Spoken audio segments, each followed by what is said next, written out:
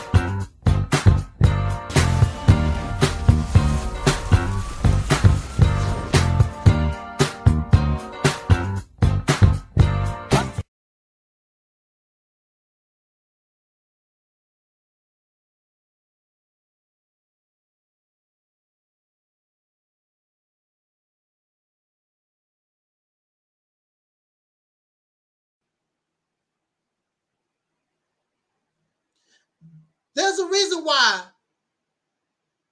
the homosexual community continues to grow because we're weak. And I know you don't, some of y'all, oh, well, that's unnatural.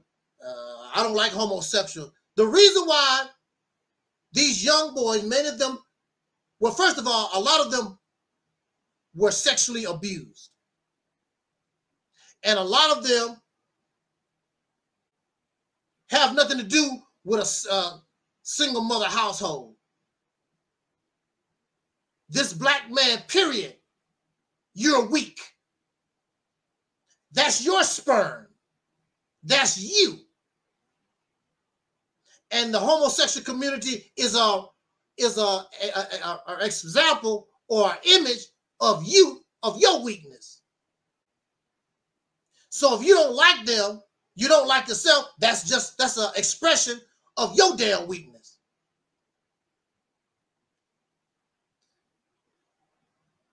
When you look at these warrior cultures, they didn't have that kind of problem. When I read about, about these warrior cultures, the Zulus, and these warrior cultures in Asia, and the, the Vikings, I don't never read nothing about their gay, gay and lesbian community?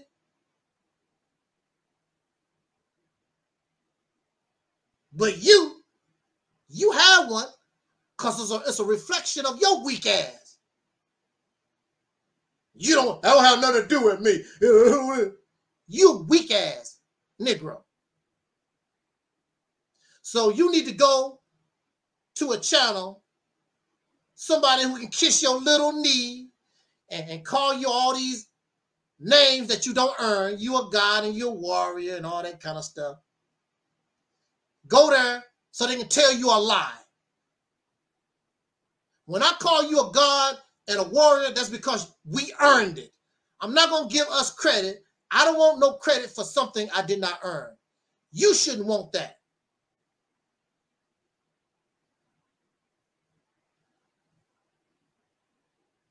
So on that note, we're gonna get out of here.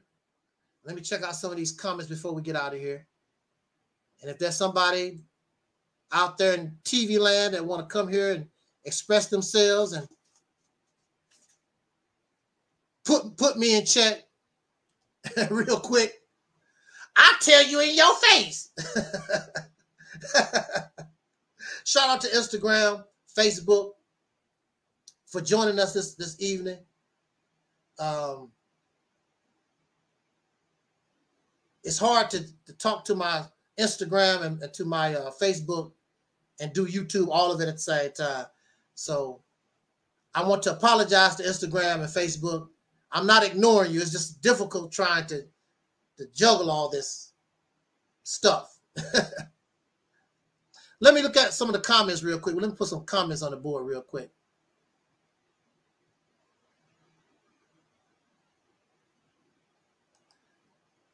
Razzie, inflation, food shortage, world elite and Davos, Switzerland, talking about people will own nothing and be happy. It's a wrap. Actually, when I was growing up and we didn't have nothing, we was poor. I mean, we had ourselves and our little family, and we had something to eat and, and shelter. Actually, I felt happier having nothing than trying to get all this something. Because my family we was actually closer than when everybody start trying to get all these cars and you know trying to be bougie.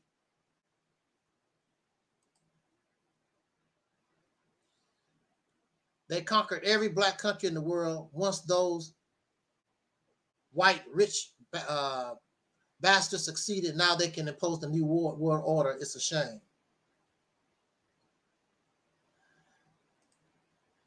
And then Razzie, the Chinese and even North Korea had it right by isolating, arming themselves, and keeping outsiders from having free access to their countries. See? Isolationists. Ooh, Razzie is teaching here. Okay. Slavery was our Achilles heel. It's so true. Integration was the beginning of the end.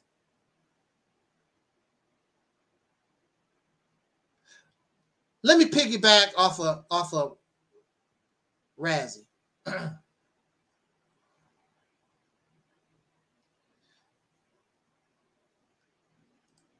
I want to talk about integration.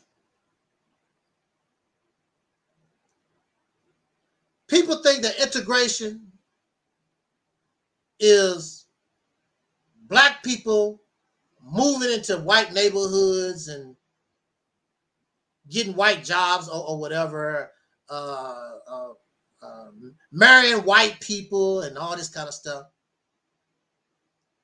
And they get on Dr. King's case about integration. What does integration mean? When you get a black cup of coffee and you pour milk into the coffee, you integrate the coffee, right? Am I am I am I right? Is that's that's integration? Well, actually, it's osmosis. Scientifically, it's osmosis, but we're gonna that's integration.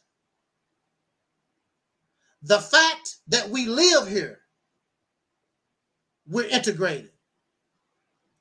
Now, just because there's a black community a, a segregated community and it's, it's, black and the white folks is on the on the on the other side of the tracks.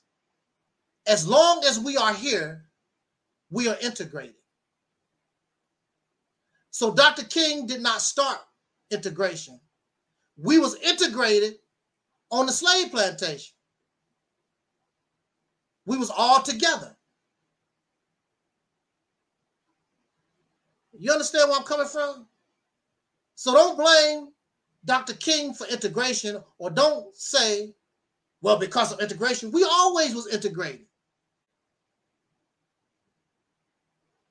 We was forced to live in our own communities, which most people would do that anyway. That's just natural. When you go to a school, most black children will get with, with black children most Chinese children would get with, I mean, that's just a natural thing. People want to be with people who are like themselves. But the school is integrated because you have black children, Asian children, white children, Indian children, whatever. The school is integrated, it's diverse. We live in America, and you can build, you can have an all black state. You're still integrated because you're still part of the United States of America. If you don't want to be integrated, then you then you need to go to Africa or China or wherever. And then the only thing you're going to do is integrate with somebody else because you don't control nothing. You don't have a damn thing. You always going to be integrating with somebody because you have nothing of your own. When it gets to the point where you can control the land, the resources. You make the rules or whatever. And then even when you have your own, doesn't mean that I mean you could, but it still don't mean that you would that uh you won't be integrated because you may allow people from the islands to come to your your new country. You might even let a, start letting a few white people come in. If they was cool with us, you might let them come in. We just humanity is just diverse. Humanity is just diverse, y'all. So integration is not the problem. The problem is injustice. It wasn't integration. It's just injustice. And the way they played the integration, it gave us the illusion like you was getting justice because you was able to sit and eat at a, a counter or you was able to marry a white woman. It gave us the illusion. But we're integrated. You can't hide from that. You can't hide from integration. Now, I think segregation would be better. You still integrate because you're in this country, but segregation was much, much better because it gave us an opportunity to do for ourselves because there is no justice. It's unequal in the society itself. But we're still integrated because we still have to obey the laws of the United States of America. Even if you segregate it, you still are under the authority of those who have the power to enforce the laws of the United States of America. Now, I might be off. When I say that, I might be off. I'm here to learn things too. Razzie, I might be off, Razzie. If I'm off track, please, please tell me. Because I, I, might be, I might be wrong. That's the way I, I look at it. You can't, you can't, you can't avoid integration. There was something else that that uh Razzie said that I want to piggyback on. Let me see if I. Oh yeah. Razzie was talking about the New World Order.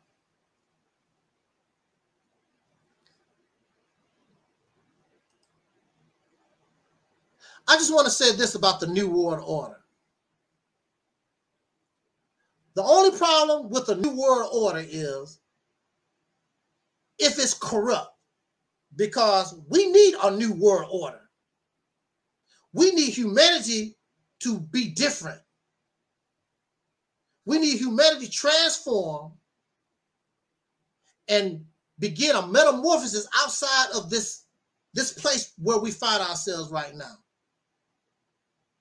The problem with the New World Order is that the New World Order that we're thinking about is corrupt. That's the problem.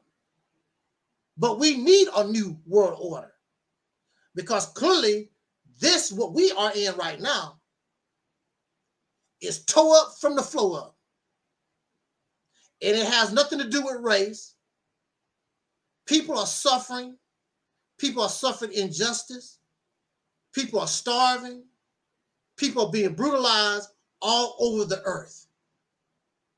So the New World Order that I believe Raz is talking about, the only thing they want to do is continue the same old, same old, and they want to run everything. They want to be able to say who lives, who dies, who eats, who starves. And that kind of world order, all of us should not want. And all of us should fight against. And we should not allow that to come into existence because the few, the few that actually